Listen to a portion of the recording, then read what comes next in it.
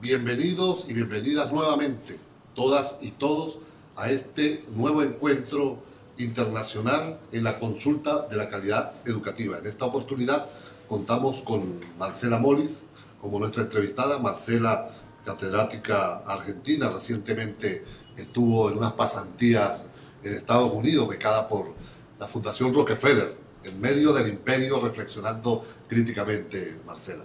Bienvenida, Marcela, a este contacto eh, internacional, repito, en el, marco de la consulta por la calidad educativa. Marcela, tú has trabajado eh, el tema de la calidad en distintos momentos, eh, precisamente asociando el tema del debate de la calidad a la recuperación democrática o de los ideales democráticos en nuestras sociedades. Para ti la calidad educativa, ¿cuál es el mayor desafío que tiene en la actualidad? Bueno, Luis, eh, desde aquí, desde Buenos Aires, te agradezco por esta convocatoria. Eh, te felicito y felicito al Centro Internacional Miranda por esta iniciativa. Y, agradezco a todos los colegas que me han precedido porque han realizado aportes realmente muy valiosos. Y me parece fantástica y felicito de verdad esta iniciativa. Eh, es bienvenida y necesaria para nuestra región. Eh, bueno, para ir de a poquito aportando desde la experiencia que yo considero que es más eh, valiosa para ustedes, desde mi lugar de historiadora de la educación y comparatista, sobre todo de la educación superior, eh, bueno, quería simplemente hacer un, como un avisito parroquial y contarte que si bien la Fundación Rockefeller estuvo en esta actividad, eh, la organización que financió fue Claxo. Eh, y bueno, esta actividad de becarios en Estados Unidos en realidad se complementa con una actividad en Buenos Aires y el título es 30 años de democracia en América Latina, desafíos, procesos y logros. En relación a esa actividad, obviamente Claxo tuvo un partner eh, a la OLA, que es el Observatorio Latinoamericano de la eh, New School, eh, y realmente fuimos recibidos en la New School y también obviamente por el representante de los hermanos Rockefeller, de la Fundación de los Hermanos Rockefeller. En ese encuentro, y estoy haciendo de algún modo un relato que está directamente vinculado al tema de, de las democracias y las calidades. En ese encuentro eh, participaron becarios y compañeros de Honduras, de Paraguay, de Guatemala, em, de Chile, de México, de El Salvador, em, em, de, bueno, de Uruguay, Argentina, y no quiero olvidarme ninguno. Lo cierto es que en la medida en que iban avanzando nuestras presentaciones, íbamos fuertemente comprendiendo que no podíamos ponernos de acuerdo sobre una y única exclusiva dimensión para referirnos a la democracia. Pero sí veíamos que había eh, matices absolutamente urgentes para ser resueltos en términos de democracias en plural. Los grados en que se han profundizado las democracias en la región difieren enormemente. Y los relatos de los compañeros de la que llamamos eh, América Central eran, estaban fuertemente condicionados por otras urgencias. Los relatos de los compañeros del Cono Sur, eh, las experiencias estaban dinamizadas por intereses, por conflictos, por valores que hacían que estuviéramos probablemente más distantes de encontrar un común acuerdo que, eh, que estas diferencias que afloraban y que nos iban dejando un poco perplejos, porque pensábamos que íbamos a un encuentro en donde todo iba a ser de algún modo eh, causa común.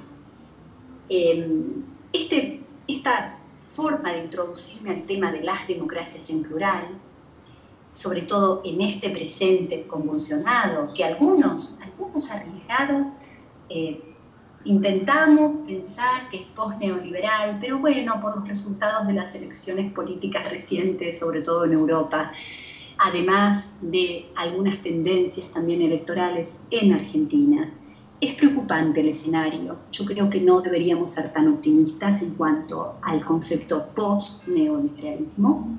Tal vez deberíamos pensar que hay un concepto activo que tiene que ver con la profundización de las democracias en los casos de Venezuela, en los casos de Bolivia, en el caso obviamente de Brasil, de Argentina, en el caso de Uruguay, cómo no, pero eh, con cuidado respecto de esta idea de post-neoliberalismo.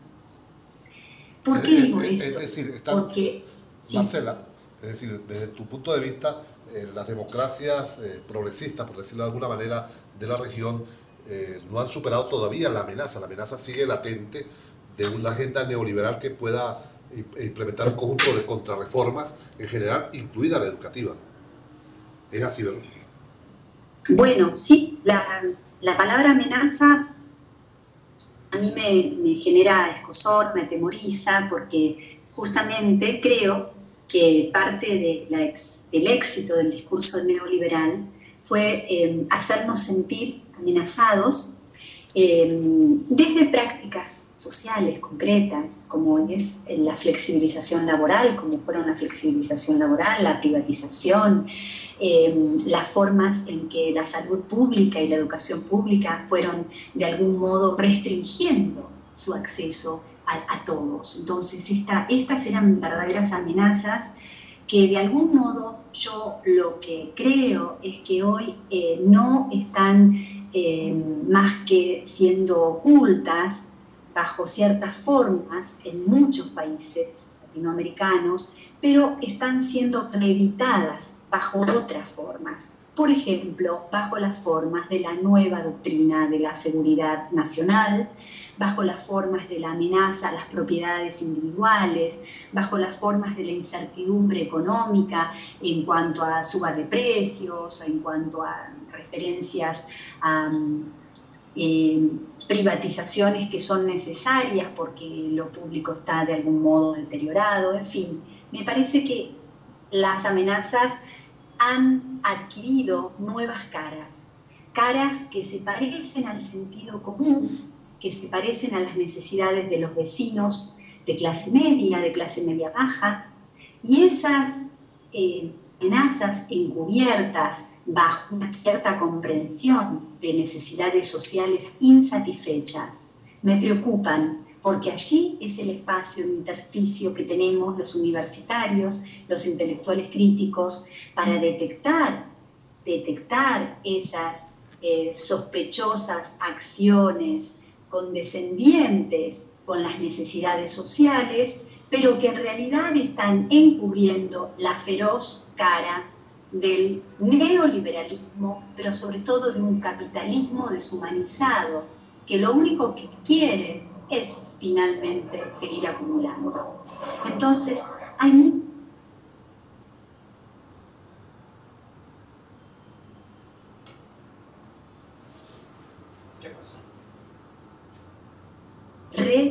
rediseñar nuevos elementos teóricos para pensar calidades educativas en democracia. Eso era lo que te iba a proponer, Luis. Te iba a proponer em, reflexionar en plural, es decir, pensar en calidades, pensar que el término calidad, y ahí si querés si me aboco a la experiencia académica em, desde que Alfonsín recuperó y reconfiguró la democracia en Argentina, el término calidad es un término, es un concepto que viene totalmente naturalizado desde la Revolución Francesa, la posrevolución, con las prácticas educativas de los sistemas educativos nacionales que aspiraban formar ciudadanía en un, por supuesto, en un capitalismo con todas las contradicciones que Marx ya había eh, de algún modo detectado, pero finalmente esa idea de calidad estaba asociado al buen funcionamiento de un sistema educativo moderno, que formaba ciudadanos, que diferenciaba una masa trabajadora, unos sectores para eh, funcionalmente para ocuparse de las tareas manuales y otros para poder seguir por ese track, por esa vía a los estudios superiores. Quiero decir que el concepto de calidad no es un concepto que haya reinventado el neoliberalismo o que haya recuperado el Banco Mundial o, el BID sin tener una enorme legitimidad.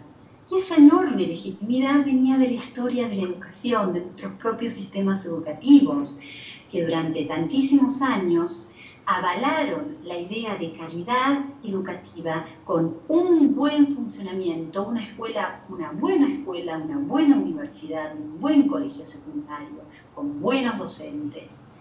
Con esto quiero decir, la calidad educativa es un concepto que es fácilmente observable, que se podía observar desde la historia de la educación asociada a las buenas prácticas y al buen funcionamiento educativo, pero que a la hora de definirla, bueno, había una suerte de diferentes asociaciones ilícitas con otros conceptos. Entonces, ¿qué es lo que los organismos internacionales de algún modo hicieron? ¿Cómo intervinieron en este sentido común de una ciudadanía respecto de la calidad educativa? Intervinieron cercenando cercenando lo que relacionaba a la calidad educativa con el buen funcionamiento de los sistemas públicos nacionales que tenían como fin formar ciudadanía. Y obviamente ese es un carácter político de la calidad educativa. ¿Qué hicieron estos organismos internacionales? Bueno, se dieron cuenta que también hablaban de calidad las empresas. Por supuesto, Mercedes-Benz, las, marcas que conocemos que tienen productos tan buenos. ¿Y qué dijeron? Simplemente pensaron, un buen auto, un auto de calidad, se puede observar y se puede definir por una serie de parámetros. ¿Por qué no trasladamos el paradigma corporativo de la calidad asociada al buen producto? Lo trasladamos a el paradigma educativo que heredaba la calidad como un concepto liberal de construcción, insisto en esto, de construcción ciudadana, diferenciada en clases y lo que sabemos, lo que sabemos del liberalismo. Pero bueno, en este trasvasamiento se cercenó el concepto de calidad y ya la calidad comenzó a definirse en singular y asociada a un resultado, a un producto. Y esto nos lleva por el camino directo del el paradigma cuantitativo de la calidad. Y el paradigma cuantitativo de la calidad se refleja en indicadores que en última instancia van a quedar tan lejos de ese concepto político, social, de calidad educativa que está en el entramado de los sistemas educativos modernos vinculados al Estado-Nación.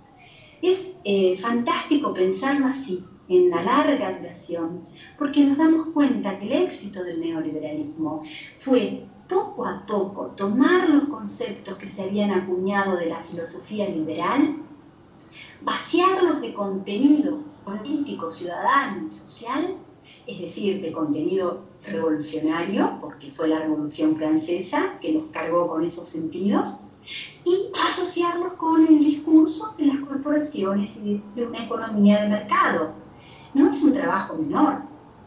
No lo hicieron los organismos internacionales, lo hicieron nuestros profesores, nuestros investigadores, nuestros funcionarios, aquellos intelectuales que aceptaron esta deformación conceptual y más que deformación, aceptaron, aceptaron la muerte del Estado-Nación, aceptaron que el Estado-Nación ya no iba a ser el actor protagonista de los grandes cambios y se eh, dispusieron a cobrar interesantes sueldos y a decir, bueno, efectivamente el paradigma de la calidad hoy está asociado al Quality Movement o al Quality Movement Assessment. Fueron poco a poco, poco a poco, diseñando estrategias en las que la ciudadanía quedó de algún modo confundida, absorta. Y así fue como hoy llegamos a un presente en el que el concepto de calidad, por un lado, nos suena como un concepto que está asociado a la funcionalidad educativa y no lo podemos rechazar. Está asociado a la funcionalidad social y a la funcionalidad de la salud. Eh, ¿Quién no quiere una salud de calidad, una educación de calidad? esta, esta especie de sentido común a favor de la calidad es un punto a favor nuestro. Pero ese sentido común interpelado por eh, eh, la mono, el mono el paradigma de la verdad única, la calidad es aquello que se puede medir a través de indicadores a priori, de un modo a priori definidos, ese es el concepto con el que tenemos que desandar caminos. Entonces hablemos de dos cosas fundamentales. La calidad por sí misma no existe. Nos convencieron, nos hablaron de la calidad como que podía ser medida. La calidad por sí misma no existe. La calidad en realidad es la forma, las propiedades, las características que están vinculados a un determinado proceso que genera fundamentalmente una satisfacción en relación a la función que ese objeto o que esa acción social cumple. Entonces, no hay calidad disociada de procesos, de actores o de resultados, pero si hablamos de procesos, actores y resultados, tenemos que hablar antes de la calidad, del sustantivo que lo anticipa. Hablamos de educación, hablamos de política, de políticas educativas y después podemos decir políticas educativas de calidad. Políticas educativas de calidad en procesos de democracia. Democratización para que la calidad educativa se profundice. No podemos hablar de calidad aislada porque volveríamos a caer en una suerte de trampa semántica, que es acortar, recortar el significante. Y la calidad se convertiría así como en una especie de mercancía que podemos medir, manipular, observar.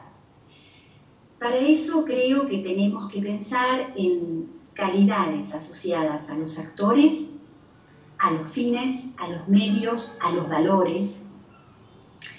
Y creo yo que estamos todos comprometidos con los valores democráticos.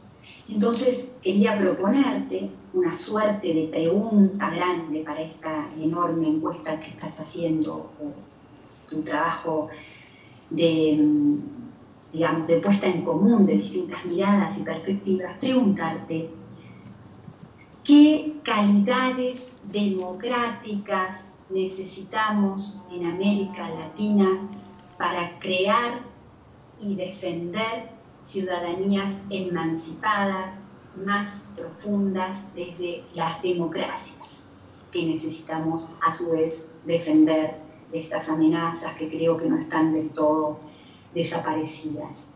Totalmente de acuerdo, totalmente de acuerdo, Marcela. En esa perspectiva de trabajo la incorporamos, pero nos gustaría trabajar también el tema universitario. Tú has trabajado el tema de la calidad asociado a la educación universitaria.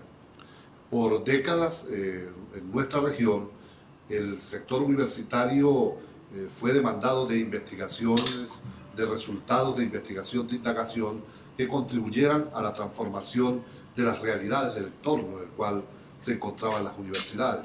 Es decir, desde la universidad se pensó la ciencia, la transformación de la sociedad por décadas.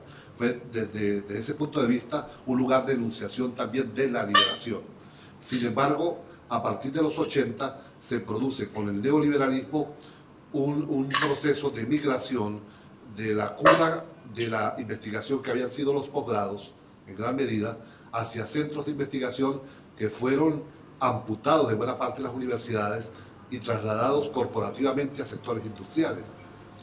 Eso sumado a las revoluciones científicas del conocimiento de la década de los 90, con ciclos de cuatro o seis años, ha hecho más complejo el tema del conocimiento en las universidades de avanzar en, investigaciones de profundidad que puedan contribuir al desarrollo social, que amenazan, aunque la palabra no te gusta a ti, lo vuelvo a usar, amenazan con crear eh, una mayor distancia entre los países del norte, entre el conocimiento del norte y el conocimiento del sur.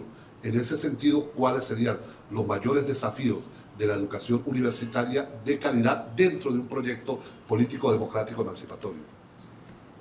Sí, me has presentado una pregunta muy impresionante, porque es una pregunta, yo diría, estratégica, para definir esas calidades en plural y para definir eh, esos sustantivos que deben anteceder a la preocupación por las calidades, esos grandes sustantivos. El primer gran sustantivo es eh, cómo superar, digamos, es el abismo, ¿no? El abismo que hoy, de algún modo, al que hoy nos están condenando estos poderes económicos. El abismo lo planteo como una posibilidad de quedar fuera de la historia, fuera del poder, fuera del control tecnológico, del control productivo, fuera de la producción cultural, fuera de la producción científica.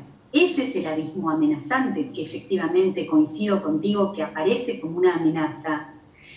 El abismo es pensarnos como sociedades eh, que debemos imitar a los tigres asiáticos, pensarnos como sociedades que estamos en igualdad de condiciones desde el punto de vista global, cuando en realidad lo que podemos reconocer desde el punto de vista global en este presente, que insisto, yo no llamaría post-neoliberal, sino que lo llamaría un presente en el cual se, se urge la profundización de las democracias democratizadoras.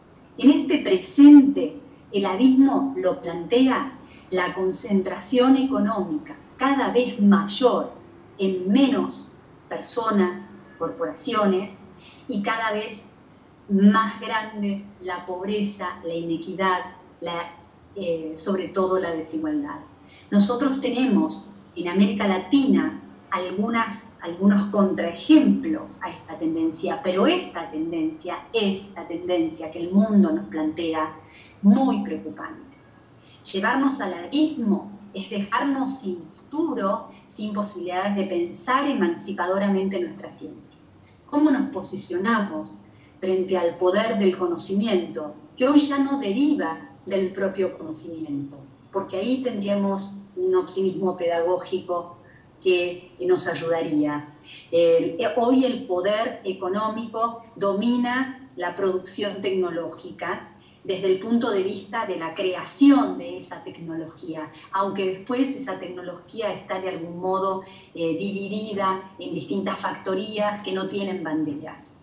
Entonces, ¿cómo posicionarnos? Por supuesto, con el sueño de Bolívar y con el sueño de seguramente de Chávez y de Néstor y con el sueño de Cristina y con el sueño del Alba, tenemos que unir nuestras capacidades en la posibilidad de construir referentes que nos permitan saltar deudas sociales con inteligencia.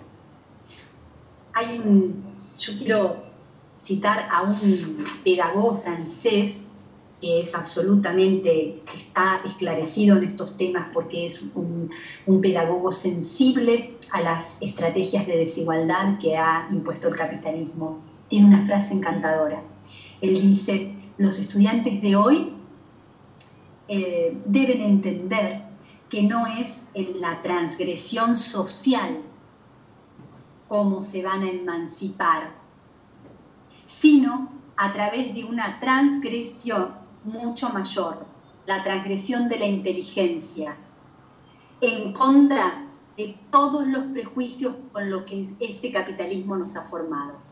Esto lo dice Philippe Merieux eh, y me parece que es una respuesta por ahora metafórica, pero es la respuesta pragmática que debemos abrazar. Tenemos que revolucionar nuestras inteligencias, sumarlas, ir contra los prejuicios, pero para eso necesitamos recursos y necesitamos instituciones. Y ahí vuelve a aparecer el tema de la calidad. ¿Cómo recuperar buen, las buenas prácticas de las distintas calidades educativas en contextos de amenaza por recuperar tu, tu imagen. Bueno, hay que profundizar la inteligencia. No nos tenemos que asustar, no nos tenemos que asustar de eh, la formación de instituciones con programas, con proyectos que sean para unos pocos. Lo digo eh, con conciencia total de lo que estoy diciendo. ¿eh? ¿Por qué? porque si hay que producir para poder contrarrestar el poder de los poderosos, tenemos que actuar con inteligencia, con talentos, con dedicación. Ahí van a surgir unas urgencias a ser respondidas, las científicas, las tecnológicas. Tenemos otras urgencias, alfabetizar, generar un sentido común democratizador, generar y hacer entender a nuestros colegas de universidades tradicionales que podemos convivir en una suerte de abanico diferenciador de universitarios. Algunos tendrán unas miradas, otros otras, pero hoy tenemos que pensarnos como un todo, como un todo, aunque no seamos un todo, aunque las diferencias sean las que dominen nuestro territorio. ¿Cómo lograr pensarnos en un todo? Allí radica el trabajo necesario de los cientistas sociales. Filosofía políticas eh, aplicadas a la construcción de redes, redes que nos pongan en diálogo. Eh, necesitamos llegar a ciertos consensos, y hablo de la región, a pesar de las diferencias. Marcela, en la óptica de transgredir el conocimiento al cual tú nos invitas, maravilloso, maravillosa invitación, algunos venimos pensando que los desafíos democráticos de nuestras sociedades implican incluso repensar el lugar de enunciación de las universidades.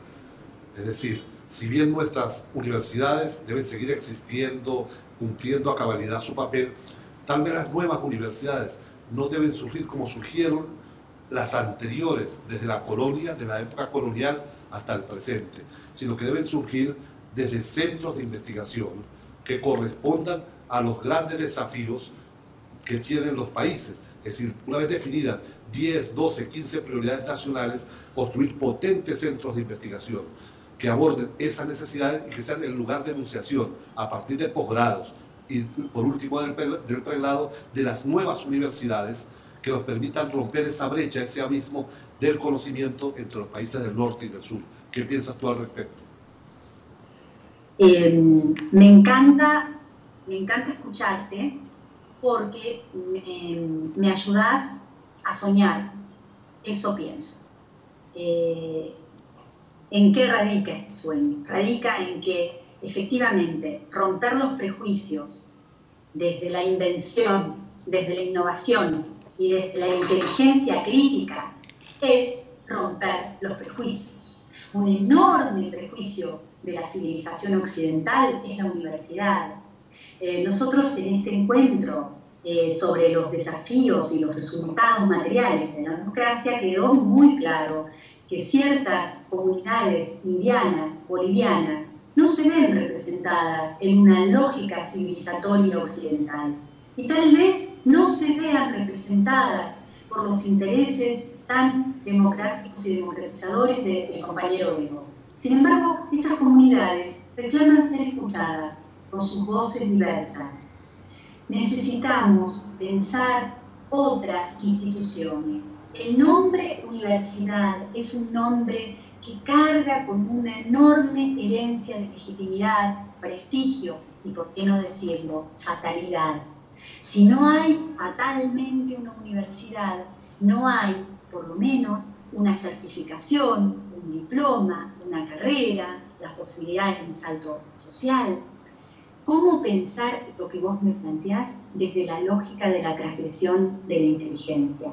Nuevas instituciones que nos agrupen en urgencias científicas y tecnológicas, que consigamos sumar recursos económicos, que pongamos eh, de algún modo esa inteligencia al servicio de nuestras regiones, con valores emancipadores. El tema de los valores es fundamental. Y no tenerle miedo a la diversidad y a la convivencia de distintas universidades, a mí me gustaría incluso llamarlas de otras formas a estas instituciones. Podemos llamarlos centros de investigación o podemos llamarlos oficinas del pensamiento crítico. No importa. Hermoso nombre. Pero qué importante es darnos cuenta que hoy a la complejidad hay que responder con diversas estrategias. A la complejidad hay que atenderla con diversidad. A la diversidad muy absolutamente compleja de nuestras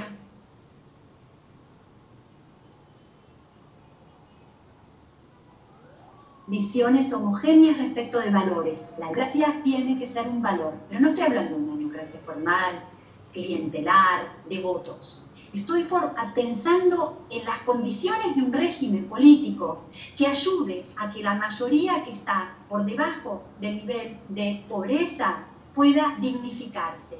Y a la otra mayoría que estaba también por encima pueda encontrar sentido a esa democracia que la hace entonces, es muy complejo el proceso, pero sí, estoy de acuerdo contigo. Vayamos por nuevas instituciones. Yo cuestiono el nombre universidad tal vez porque, y esto es como un, correlato con mi, con mi otra identidad comparatista. Cuando comencé a investigar la historia de las universidades en Japón, lo que me di cuenta es que en Japón había un conjunto de saberes consolidados por la filosofía china que no eran saberes disciplinares, especializados, divididos, sino que formaban parte de una totalidad. ¿Cómo hicieron para occidentalizarse?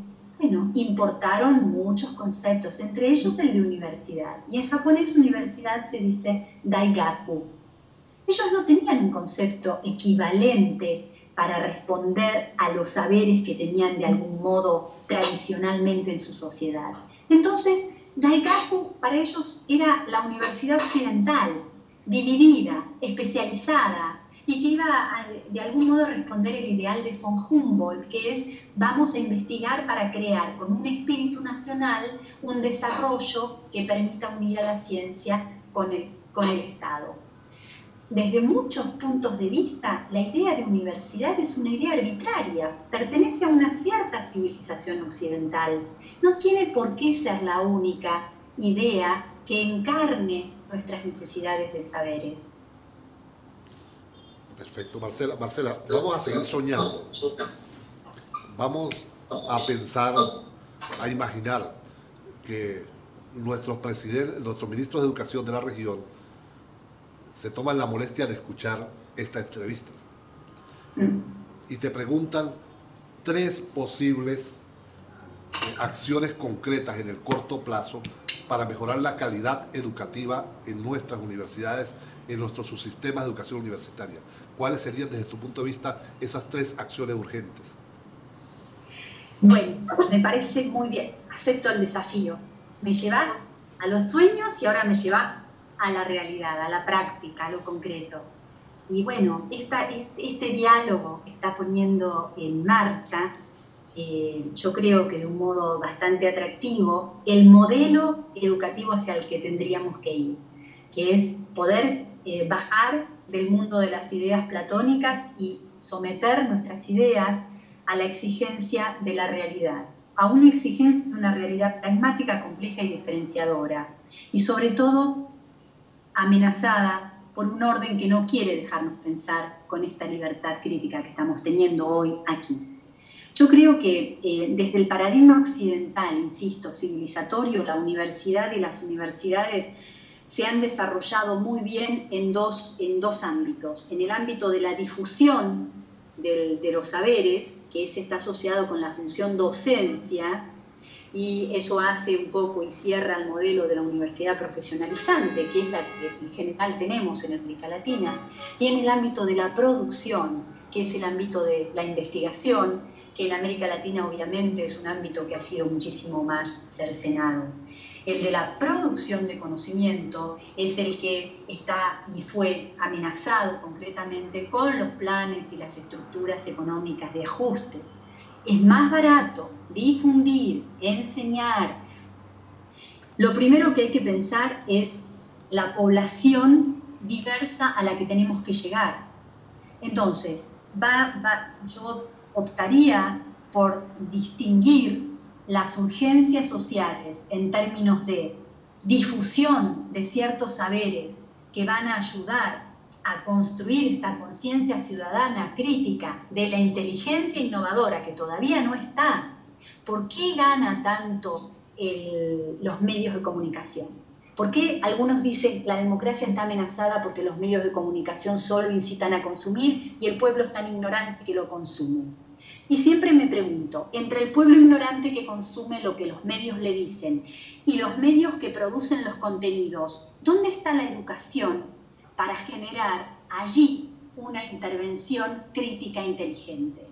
Necesitamos esa educación. Entonces, señor ministro, quien sea, vamos a construir distintas estrategias que puedan cubrir necesidades diferentes para las distintas calidades democráticas. Necesitamos un pueblo que piense, que piense. ¿Cómo? Tal vez Pablo el otro día lo nombró a, Sarmiento. Bueno, Sarmiento pensó que para hacer pensar al pueblo había que preocuparse del magisterio.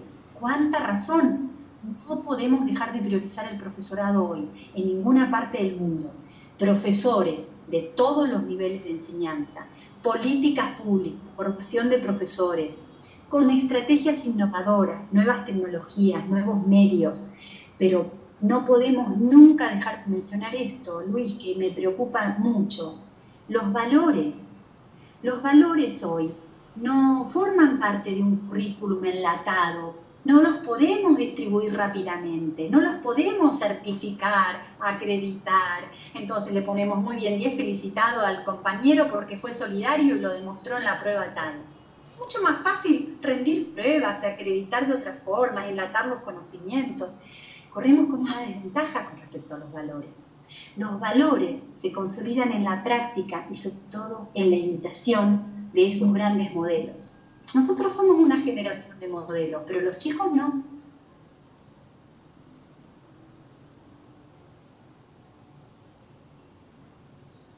Pensar seriamente cómo hacemos con los valores primero solidariamente pensar como región respecto de estrategias de conocimiento, de construcción, de innovación que tengan que ver con educación, con salud, con las viviendas, con las políticas ecológicas, ambientalistas.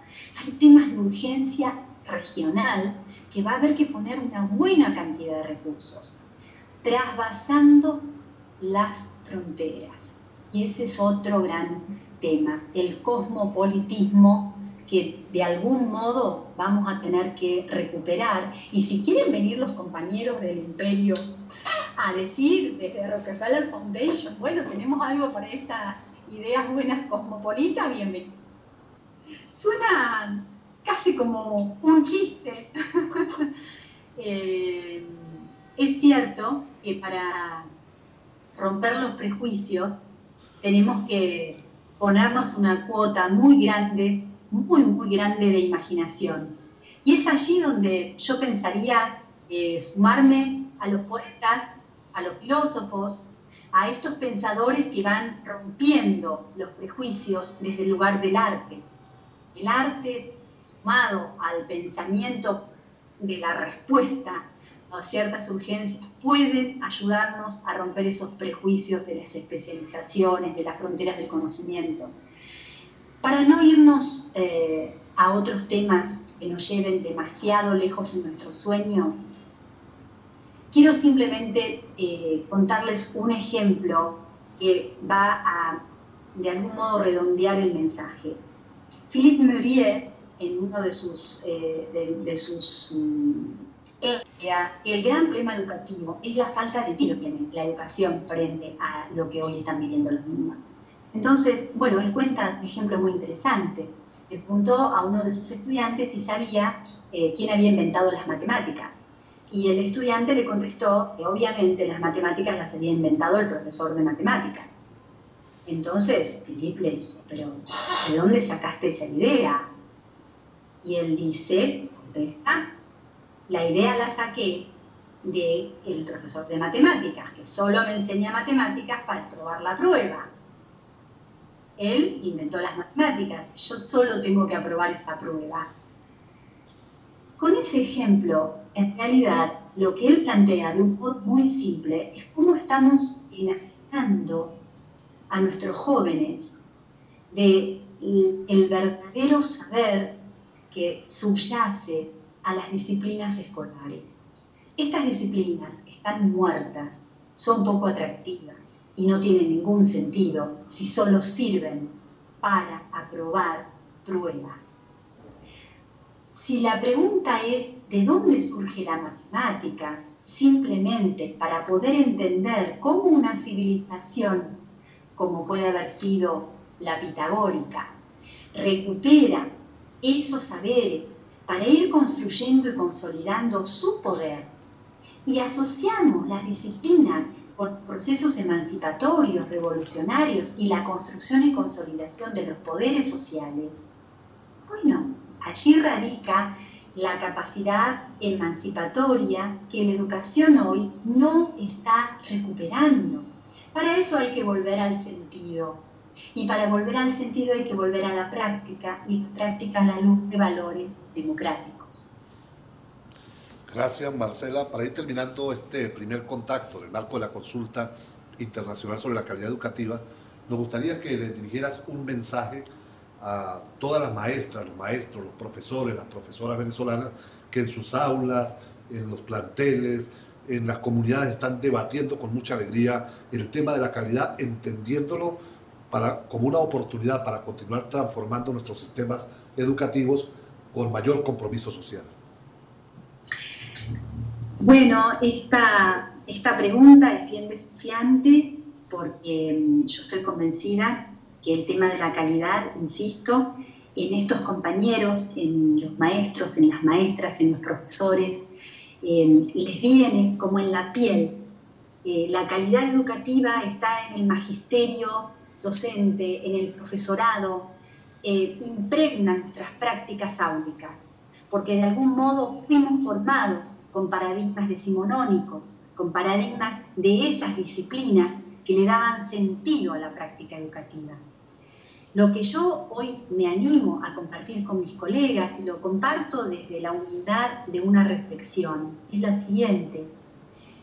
Podemos pensar una nueva, unas nuevas calidades educativas a la luz de una conciencia crítica de la tremenda enajenación que la educación, el saber, los saberes, el conocimiento, están teniendo hoy. En ese sentido apelaría a volver a llenar de sentido. El sentido viene de la mano de la política, hacer más político el encuadre, el contexto, las tinturas de esas calidades. Hacer más políticos es meternos con las cuestiones que les preocupan a nuestros jóvenes.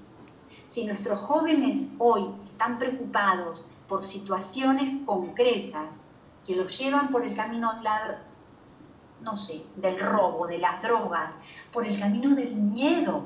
Tenemos una diversidad de complejas relaciones. Los docentes hoy se están cargando sobre sus espaldas una tremenda responsabilidad, que es hacer de puentes entre una sociedad abstracta de adultos que se pelean y un futuro también abstracto que esos jóvenes no ven y no saben ni se imaginan cómo será. Ahí está ese puente, es el que puede generarnos las ideas de calidades diferentes. ¿Cómo quieren estos jóvenes su futuro? ¿Cómo lo quieren? ¿Qué es lo que quieren superar de este presente agónico que les estamos de algún modo transmitiendo, delegando? ¿Cómo se imaginan ellos? ¿Como viejos? ¿Como viejos o como maduritos para no ser tan antipáticos? ¿Cómo se imaginan como padres? ¿Qué sociedad quieren? Y tal vez hasta la palabra sociedad sea un anacronismo con lo que ellos están pensando. A lo mejor están pensando su barrio, qué barrio quieren, su estructura más, más personal, qué red quieren. ¿Cómo se imaginan tomando desde esas realidades, politizando, pero a su vez también teniendo muy claro el horizonte? Hablemos de democracias, de calidades democráticas que profundicen esta identidad ciudadana que vamos a tener que aceptar desde la convivencia con los otros, la convivencia con los otros. Somos nosotros, pero también hay otros. Y afuera la amenaza. Gracias. Gracias por darme toda esta oportunidad de decir estas cosas. Gracias. Gracias. Una maravilla conversar contigo, Marcela. Gracias en nombre de los maestros, las maestras venezolanas, por esta invitación a pensar democráticamente las calidades educativas. Gracias, Luis.